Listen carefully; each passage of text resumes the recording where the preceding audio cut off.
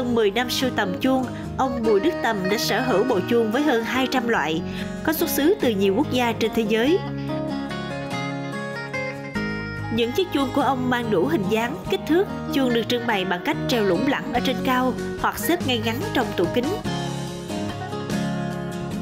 Để có bộ sưu tập đặc sắc, cứ mỗi chuyến đi nước ngoài, ông lại tìm đến chợ trời mua chuông hoặc nhờ bạn bè tìm giúp. Chi phí bỏ ra nhiều, nhưng ông cho rằng bộ sưu tập của mình là vô giá.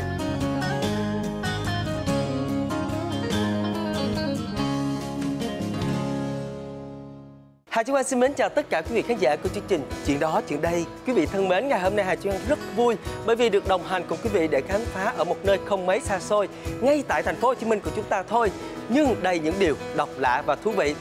Cũng như thường lệ, không biết người đồng hành cùng với Hà Chí Quang là ai ạ? À? Chúng ta chờ xem nhé.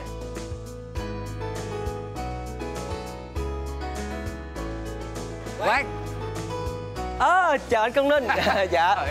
Xin chào anh. Đi đâu đây ạ? À? Ờ đi ờ, đi tới nhà cái anh nghệ nhân mà sưu tầm mà những loại chuông á. Ồ, nói vậy là nghệ sĩ tôi công ninh ngày hôm nay sẽ là khách mời của chương trình chuyện đó chuyện đây. Uh-huh. Vậy thì còn chần chờ gì nữa Xin mời quý vị khán giả cũng như là nghệ sĩ tôi công ninh Chúng ta cùng đi gặp nhân vật của chúng ta hôm nay nhé. Xin mời. Xin mời quý vị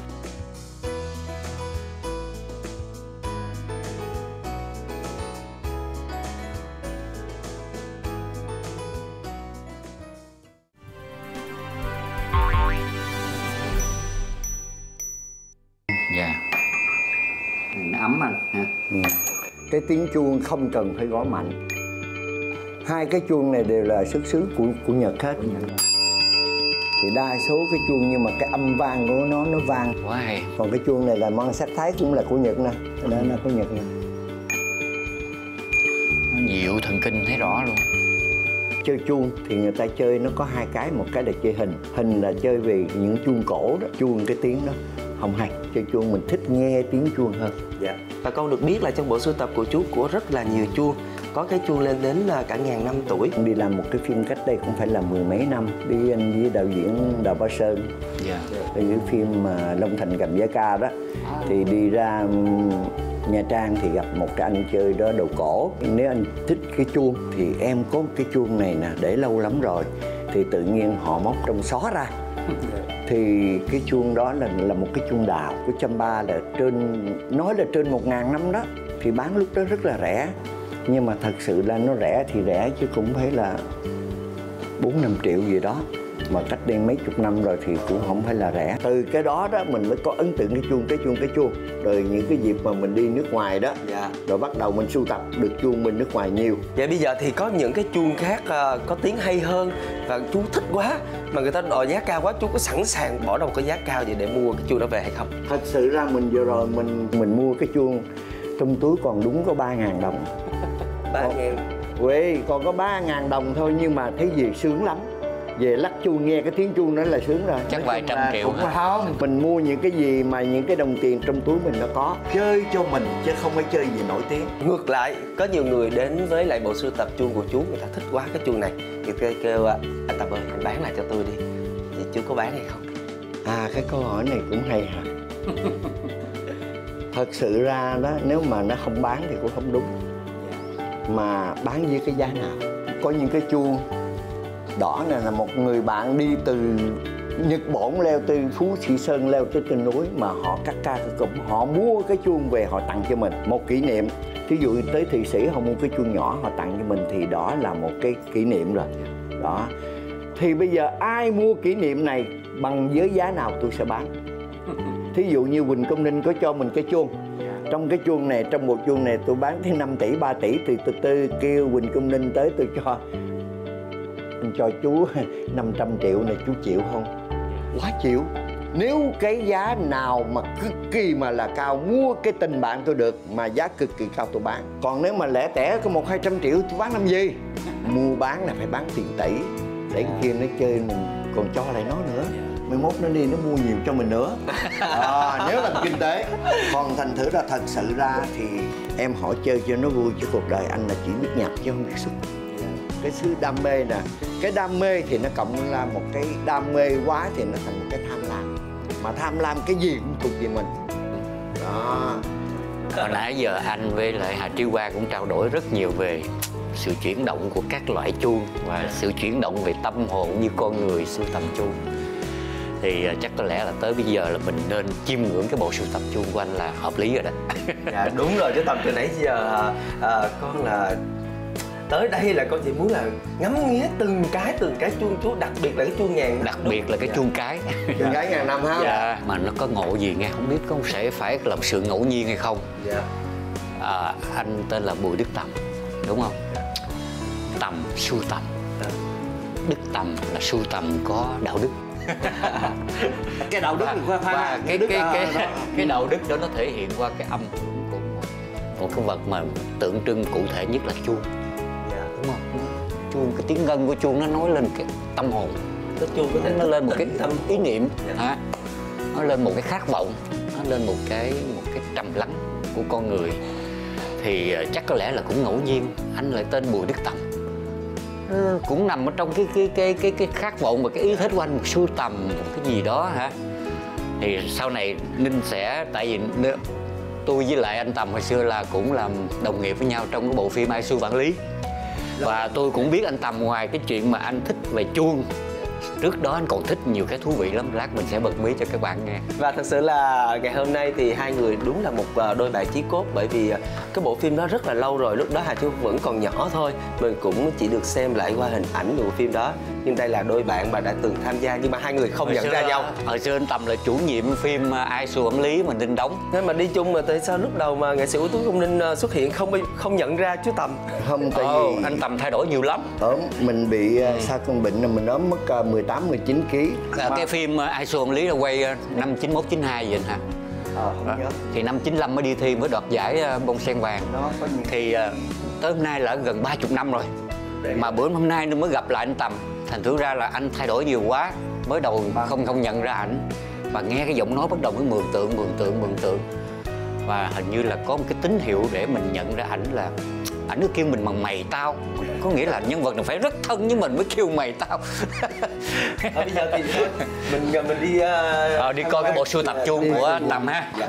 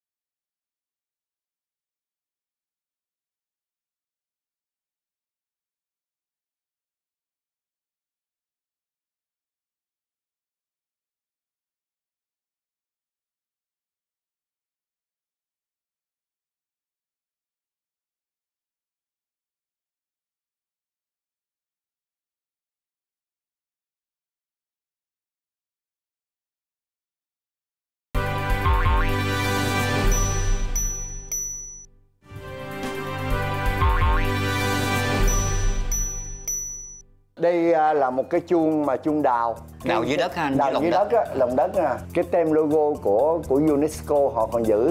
Để tôi tôi đánh thử cho các bạn xem thì cái tiếng chuông của nó nó không không kêu nè. Ờ, vậy nó nó không còn là một cái Cái chuông nữa. để đi triển lãm ngàn năm thăng long đó. Dạ. thì tôi có đem cái chuông này ra ngoài đó thì tôi thấy à, cái cuộc à, trưng bày do đó là hình như là được có hai cái Ồ. một cái này của tôi với một cái của anh nào đó mà nhỏ hơn cái này một tí. Ồ. đó Dạ. được để ngoài đó hình như là cũng 6 tháng. Ví dụ như trong này mình có sưu tầm được cái chuông này Ờ, dạ. là của cái nước nào đây nè? Năm 2000 là cái lễ của một cái đất nước là ừ, lễ hội ờ, đua bò. À, đấu bò. Đấu bò đó. Và trong đây là rất là nhiều chuông của nhiều quốc gia. À, chú tầm có nhớ là chú sưu tầm ở bao nhiêu quốc gia được nhiêu đây chuông chưa? Thật sự là mình đi nước nào đây là chuông của pháp không không nhớ hết. Dạ. đây là những cái chuông cái chuông này là trên con bò. Còn cái chuông mà có sợi dây xích này tôi đi tới thổ nhĩ kỳ mà tôi mua không bán. Cuối cùng nghe nói là mình làm kỷ niệm họ lột ra họ cho mình là là những cái chuông cái lục lạc này Dạ. là cái thời mà của Việt Nam mình là những cái con ngựa À, thời xe ngựa. con ngựa xe ngựa. đó. Thì cái chuông này là của Pháp. Còn những cái chuông bằng gỗ kia thì sao? À những cái chuông bằng gỗ này cái này là của người bạn đi đi Campuchia trên cái cái con bò. Họ đem về họ tặng mình. Ở đây tất cả các loại chuông của tất cả các nước là chuông để trên bàn. Chuông tính tiền. Đây cái chuông tính tiền. Là cái chuông này tôi cũng sưu tầm được trong cái ở cái vùng quê nhà tôi nè. Đó. Rồi dễ thương. Mà- Này chắc thời Pháp quá. thời Pháp á. Dạ. à. Đó chuông tính tiền. Đây nằm ở miền Tây hả chú ở miền Tây. Dạ. đây cái chuông này là cũng à, là thời mới À cái này giống như ở trong cái quán uh, À, bếp đó, làm xong là đó, bỏ đó. cái này cho nhân viên đây Cũng giống một cái người sạn bạn dạ. tôi cũng Ồ. Trời ơi, cái tiếng nó đã quá. trong cái chuông này nó có cái bộ này là binh khí những cái này là tôi cũng đi sưu tầm bên nước ngoài là cái chuông cũng là tương đối nó cổ dễ thương quá vậy. nó cổ hình một chú ếch à con khỉ con khỉ Khỉ, Đó. khỉ Haloman. đó chuông cổ Không có kêu anh. À, kêu. kêu chứ cái chuông này cái này là tôi tin chắc là của Ấn Độ là tôi chơi nhiều chuông tôi thấy những cái hoa dân này là của Ấn Độ Dạ. đó anh lắc thử coi. Mỗi loại chuông nó có cái tiếng kêu riêng ha. đó Mỗi thương. chuông này nó trong Chuông có trong chuông. nữa chuông trong chuông trong này tôi có một cái chuông mà đâu rồi tôi cũng không biết nó là cái chuông gì Dạ. nhưng mà thật sự nó rất là lạ đây tôi chơi chuông mà những người sưu tầm chuông bên Pháp họ cũng không biết cái chuông này là chuông gì Này của Pháp anh. của Pháp năm 1900 à, cái mang số là là 95 Ừ, dạ. rồi mang cái mã số nhỏ từ nhỏ tới lớn À. đấy à, một người giải thích là đo cái độ kêu decimen gì đó của chuông thì tôi Hay quá. rành, không Ồ. Rồi em đang thắc mắc mấy cái chuông bằng sứ nè anh Tầm ơi. Đó. Em anh giải Rồi, thích. cái cái- sứ đó mình lắc có kêu được không chú tập cái những cái chuông bằng sứ này thì tôi đi tất cả các nước Dạ. Đó đây nè tôi đi đi nước nào đi áo đi bỉ đi australia nè. À. cái này là tôi mua đồ tám ơ đó. Trong này có cái chuông này là tôi đi tây ban nha tôi mua cái chuông này là nó mang tính chất là nó vẽ bằng tay. Dạ. tôi qua cái xứ sở tây ban nha năm 2011 đó. Này là đồ kỷ niệm đó ha. đồ kỷ niệm đó. Đây là đồ kỷ niệm thôi. Dạ. trong này Nó- có một cái chuông mà đây anh cầm cái nó chuông cũng này là văn tôi- hóa vùng miền này nè. Dạ, văn hóa vùng miền tôi có những cái chuông tôi đi à, qua tới à, Slovenia là tiệp khắc một trong những cái chuông mà nó mắc Trời. nó mắc lắm rồi vì nó làm cái đây là pha lê Pha lê. đó đây là những cái đồ là cái là đồ souvenir để kỷ niệm thôi đó coi đây rất là đẹp Thấy không? đây là có những cái chuông nó rất là lạ này cái cái cái cái, Đó. cái mão của kỵ sĩ Điều đáng nói là trong số hơn 200 chiếc chuông ông Tầm đang sở hữu thì số lượng chuông của khu vực châu Âu chiếm nhiều hơn cả. Bởi mỗi lần có dịp qua châu Âu du lịch, ông vẫn thường hay lang thang trong các cửa hàng đồ cổ và lưu niệm bên đó tìm mua được những chiếc chuông dùng để gọi bồi bàn tính tiền trong cửa hàng ăn, chuông cửa hay chuông đeo cho những con bò, con cừu trên cánh đồng. Với kinh nghiệm của mình, ông Tầm cho biết tùy từng loại chuông mà tiếng chuông sẽ phát ra khác nhau, phụ thuộc vào cái mỏ để đánh khác nhau. Không phải cứ đánh càng mạnh thì âm thanh chuông nghe càng hay, mà khi đánh chuông, người chơi phải có tâm tĩnh để lắng nghe được âm thanh tiếng chuông vọng ra. Bởi chuông và âm thanh của nó là nét văn hóa đặc sắc của mỗi nền văn hóa quốc gia khác nhau.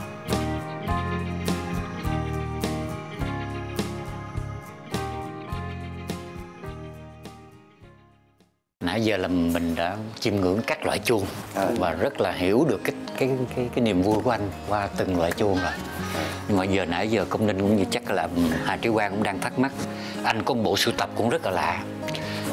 Nó đang nằm phía này đó. mèo à, Tại sao? ngoài ra thì bộ sưu tập đây là mình đi nước ngoài thì mình hay đi những cái mùa hè là mùa hè bên nước ngoài nó có những cái chợ trời đó. Dạ. Thì chợ trời mua đồ rẻ lắm thay vì là mình mua có 5 cắt một đồng thì tiệm nó bán 7 đồng tới 10 đồng. Và, Ờ. và đặc biệt cái bộ sưu tập này là gần như là anh tập trung tất cả các loại mèo trên thế giới này để Mèo mà đưa vào cái bộ sưu tập này. tất cả đây cái mèo của mình thì thật sự là mình đi rất là nhiều nước. Dạ. và bạn bè mình đi nước nào họ mua về họ tặng. Thì đa số là mình mua đi châu Âu nhiều. Thì tất cả các loại mèo này của mình là vì mình tuổi con mèo. Tại mình là sưu tập tất cả là mèo hết. Ở mèo ai cập rồi mèo các nước luôn. Rất là nhiều hình hài bây giờ hỏi tôi mèo. bao nhiêu con mèo tôi cũng không, Không biết nhớ phải con không? mèo là bao nhiêu hết. Là một người bạn chí cốt rất là lâu rồi bây giờ gặp lại thì nghệ sĩ ưu tú công ninh có bao giờ nghĩ à, chú tầm là một người à, nghệ sĩ và một người thích sưu tầm luôn luôn một tâm hồn bay bổng như vậy không thật ra cái công việc của anh Tầm lúc mà nên làm cái phim Ai Xu Vạn Lý á, là cái công việc của một người tổ chức. Thì nó gần như nó ngược lại hoàn toàn với lại một tố chất của một nghệ sĩ lãng mạn bay bổng. Nhưng mà trong cái lúc mà làm phim cùng chung với anh Tầm á, thì là Ninh có phát hiện ra một cái chi tiết mà Ninh nghĩ là hơi bất ngờ đối với công Ninh. Đó là anh Tầm còn có một cái niềm đam mê là sưu tầm đá. Sưu tầm đá, đá trong tự nhiên. Thì mình phát hiện ra ở cái cái, cái con người của anh Tầm nó có cái niềm đam mê đó và nó đó là niềm đam mê của một người muốn muốn bay bổng. Vậy thì à, ngày hôm nay đến đây thì chú tầm cũng phải à, cho tụi con cũng như quý vị khán giả thì Đấy. thấy được những cái tác phẩm mà chú đã thu thập từ tự nhiên. Đó là cái bí mật mà công ninh ngay từ đầu chương trình đã nói với lại quý vị khán giả cũng như các bạn. Đó là anh Tầm ngoài cái việc mà rất là nổi tiếng về cái bộ sưu tập chuông của anh ta. Anh Tầm còn có một niềm đam mê rất là độc đáo nữa là sưu tầm đá trong tự nhiên. Người nhật người ta kêu là suisiki sui là sủi siki là đá. Có nghĩa là dịch là thủy thạch. Thì thủy thạch đó thì không phải nước chảy đá mòn. Theo tôi nói là một sự liên quan giữa đá và nước. Bạn biết không là lúc mà Ninh quay cái phim Ai Xui Vạn Lý á, mà cái phim này là rất là hay đi vào rừng. Những cái vùng thiên nhiên gần như con người chưa đặt chân tới luôn. Thì anh Tầm tôi cứ thắc mắc của ông này cứ hay lò mò lò mò ở dưới mấy con suối? Ông tìm cái gì vậy trời? Thế mình mới tìm hiểu thì ra lúc đó anh đang đi tìm những viên đá ở dưới cái các khe suối này nó sự bào mòn của tự nhiên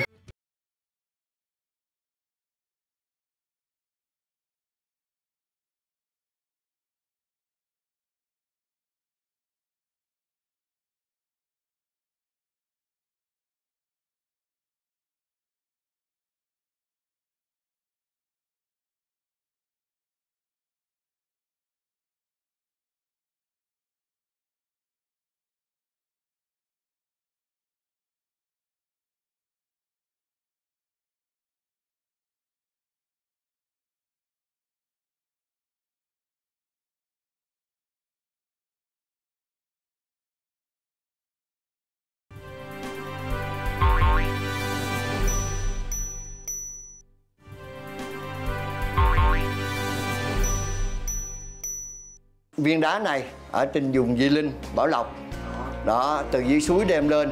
Mà mình đem về rồi mình phải bảo quản mình coi chừng nó gãi mấy cái nhỏ chi tiết đó đó. Đó chơi đá này là không trầy không mẻ mới có giá trị. Coi như là những cái đường nét này là do nước đó họ tự nhiên nước hết. họ chảy đó anh. Không được tham gia một bàn tay vô đây. Là mình không đánh bóng không gì luôn không được gì hết. Đó mình chỉ làm vệ sinh. Đấy cái cái thắc mắc của tôi cái lúc làm phim mà thấy anh có lui cui lui cui mò mò dưới mấy cái khe suối là đó. Nè kết quả đi tìm. quá đã theo đi tìm không phải là khó đâu. Khi tìm một viên đá đẹp mà muốn chơi một viên đá thì xét về hình thể nó là tứ diện pháp trước sau trái phải trên và dưới. Ví dụ như đây cái hình con người ngồi.